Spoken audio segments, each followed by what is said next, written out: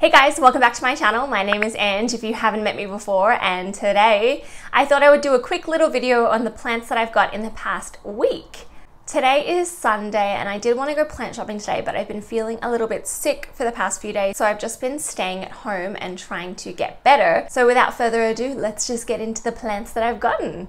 So I thought that I would show you the plants that I got in my recent plant shopping video. If you haven't seen it yet, I will link that up in the cards and in the description box down below. But the first plant I got is from Green Beans in Newtown and this plant has been a plant I have wanted for a very long time. But every time I see them online, they just sell out just like that so quickly. And it is this Peperomia Pink Lady. So it is still in its nursery pot. I've just put it into a little cover pot. But this is what it looks like. It's got this gorgeous variegation with the green leaves. And it is called a pink lady because it does throw out some pink variegation to it. You can see in the middle there, there is a little hint of pink coming through.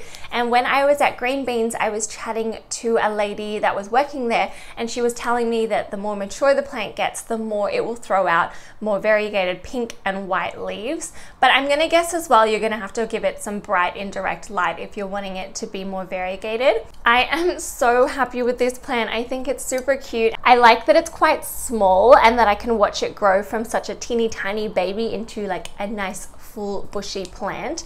But yes, this is the first plant that I got and I'm so happy with it.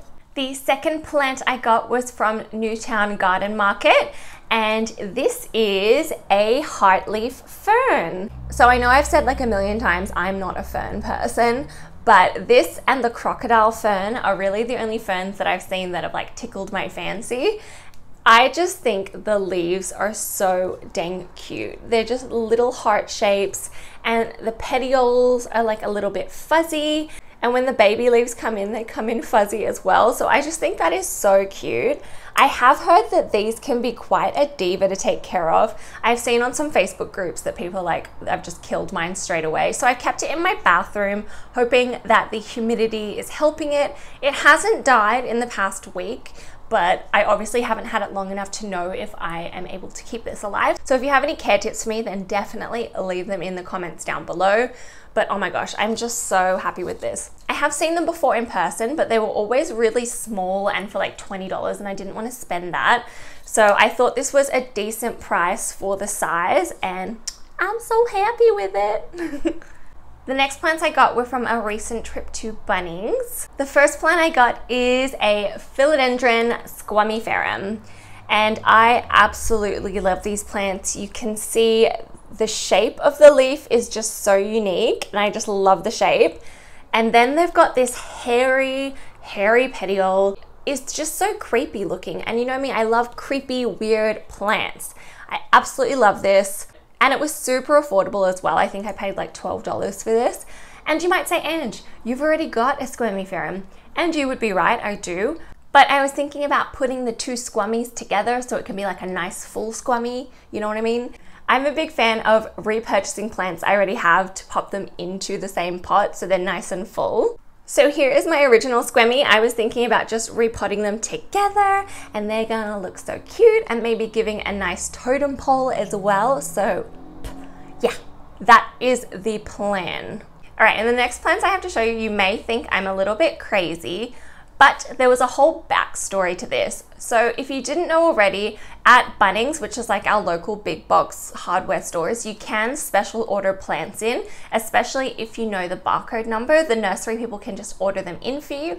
And about two months ago, I special ordered four plants. And I was waiting and I was waiting. And then I saw this post on like a plant Facebook group that a person had gone to my Bunnings and purchased the plant that I had ordered. So I was like, wait a second. So I called that Bunnings and I found out that they had sold my special order.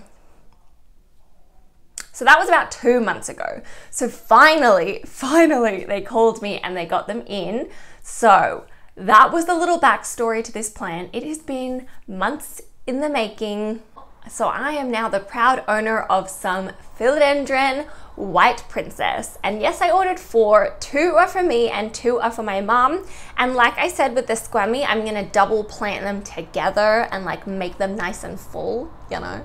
So as I said, this is a white princess philodendron. It is very similar to your pink princess, except for pink variation, you have beautiful white variegation. These weren't the most highly variegated plants, but I was still really happy with them. I'm so happy to finally have this in my collection. I've been waiting for so long. As soon as when the nursery called me, I just sent a message to Stephen in like all caps being like, you have to take me to Bunnings, like now. this is one of them. I can only hold up three at the moment, but they pretty much all look the same. Some are more variegated than others. I haven't decided yet which ones I'm gonna keep and which ones I'm gonna give to my mom. Unfortunately, my mom is not the best at taking care of plants. Sorry, mom, I know you watch these videos, but we're gonna hope that they survive because they are absolutely gorgeous and I am so happy to have these.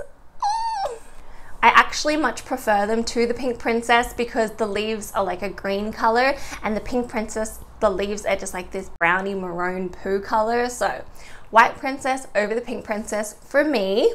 So those are all the plants I have to show you today. Let me know which one was your favorite. I hope you enjoyed this video. If you did, then hit the thumbs up. And if you haven't already, then hit subscribe because I post two plant videos every single week and I'll see you guys in my next one. All right, bye.